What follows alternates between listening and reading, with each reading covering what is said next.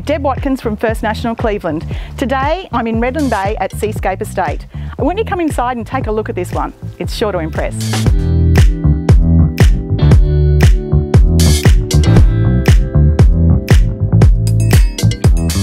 Surprise! I told you'd be impressed. Just have a look at this space.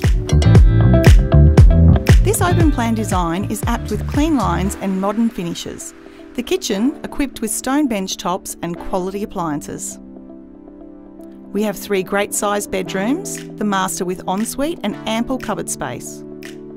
A second bathroom accommodating the other two bedrooms. At the end of the day, you can chill out with a glass of wine out on your own undercover alfresco area. But as a bonus, let's go and see what Ryan has to say.